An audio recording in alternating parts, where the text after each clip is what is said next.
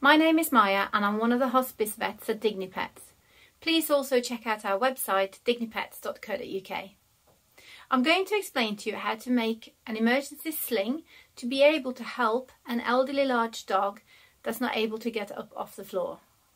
If you have an elderly dog, you might find yourself in this situation without having foreseen it, and you probably won't have the tools to be able to help.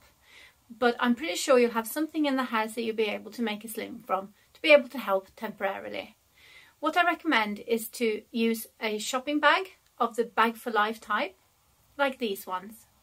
You cut out the sides on each side of the bag, and what you're left with is a sling with two handles.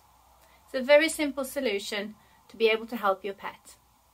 Once your pet is having episodes like this, of course it's important to get in touch with a vet to be able to have your pet checked out and to make sure that there isn't something else that you should be doing as well. Thank you for watching and please check out our website dignipets.co.uk.